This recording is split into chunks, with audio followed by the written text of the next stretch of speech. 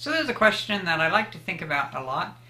Well, not a lot, but yeah, like probably every few, every couple days, I, the, the thought passes on my mind, and I would like to hear your guys' response to the question. Okay, so you have the chance to give a TED talk, or some like, um, even like as short as like a 10 minute little, quick little lecture just about something you want to talk about to a bunch of people, maybe like about technology, about something you know, or something you've learned. What kind of talk, or what would the subject be? You know what I mean? I can, it's like, that would be like the worst thing ever because it's like, oh my god, having to talk about a single thing and understanding it. If I thought of it ahead of time, I couldn't think of it very much because, like, for instance, for me, I can't script things. I can't follow a script.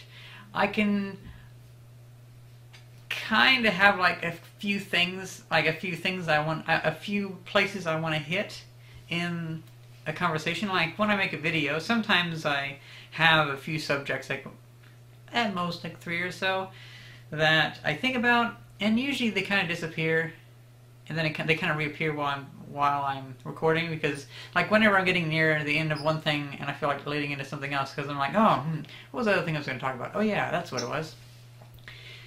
Although for this one I want to have that one thing that's what would you do at a TED Talk? And, or what would you say at a TED Talk? And, so yeah, it's just always been an interesting little question I've thought about. I like throwing myself into the same situation as a lot of people, and it's always interesting, or at least in my mind, I like thinking like, what would I do in that situation? And I probably wouldn't give a very coherent TED Talk because I'm not good at like following a script. I'm not good at following what I'm thought of before. I'm just I'm kind of better at just doing it on the spot. You know what I mean? And that can be a little more rambly, a little more running around, maybe not following the right subject. It, I might do an okay job of making it seem interesting. Like I might be able to keep people's attention a little bit, but even that, it doesn't mean that I'm making an efficient method of conversing or conveying the subject. You know what I mean? Because whether I'm interesting or not doesn't mean that I'm actually conveying new and interesting ideas. I could just be very good at keeping people's attention and talking about that.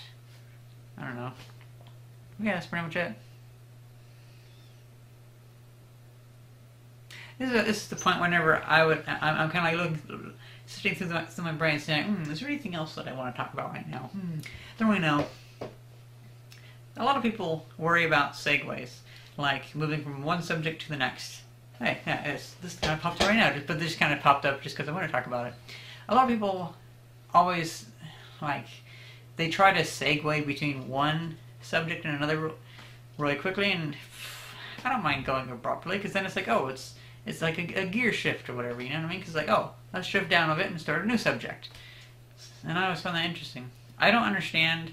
I mean, sometimes it doesn't have to. You don't have to just lead gradually into a new subject. You can, you can be like, okay, that's pretty cool. Well, hey, have you heard about this? You know what I mean? Man. Well, I'm gonna watch some YouTube videos and get some food. I got a corn dog in the refrigerator that I got from Safeway.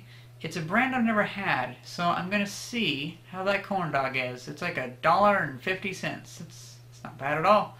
Hope it's pretty good corn dog. Well, I hope you guys enjoyed this video and thanks for watching. See ya.